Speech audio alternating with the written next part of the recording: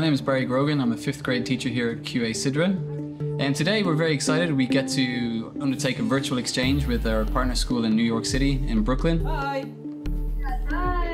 Good morning. How are you? I'm great. We just came back off our holidays, so we're all really well rested. We've been very blessed to have a huge support team from QFI come in and help us out with establishing contact, using um, the setup of an online platform which has allowed the students to send messages backwards and forwards. They can view work with each other. As you can see, the fruit is starting to grow here. Oh, that's cool. What are those? Um, I'm pretty sure this is bok choy. Yeah. Uh, do you want to know what like this Yeah. is? What is that one? This is lettuce. And You will never lose your sense of wonder when you see of something that you planted grow. this one is for like three of them together, and it's kind of like exploded the whole thing. We're using these um, tower gardens and we're expanding our reach uh, throughout the world, one child at a time. this whole idea was new to them. You know, the idea of having a tower garden in our class, they were like, oh, really? And they couldn't really imagine how it looks like, how the plants will be really growing until they did see it. What is that? Like squash, then with rice in it. The first time when we got online and we spoke face to face, um, the kids were really engaged.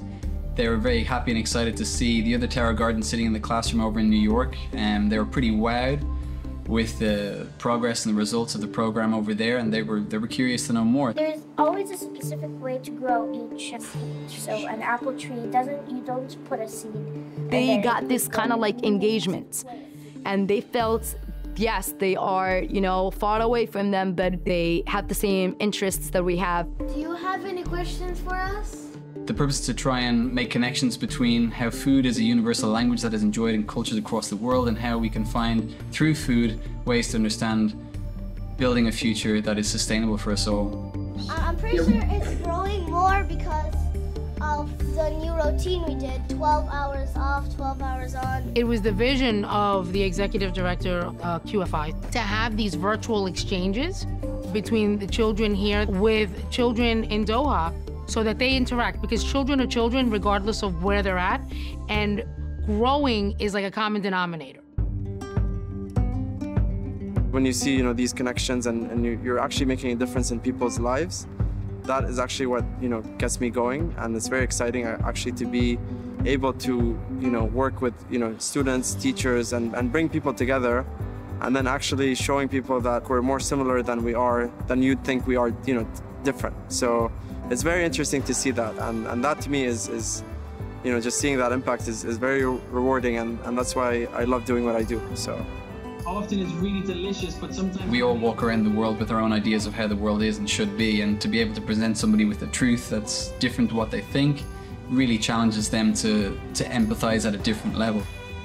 Our partnership with QFI is more than just growing food. What we're doing is really growing hope, right? We're growing hope and, and fostering tolerance. We need to be using technology to allow us to connect on a grander scale outside of ourselves and to look for common connections and to, to start to build relationships so that we can collaborate to solve shared problems. What's your favorite food in Doha?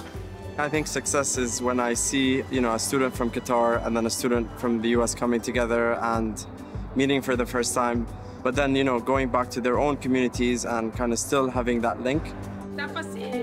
It is really about getting people to understand that we share space on a planet and we all have to be good citizens.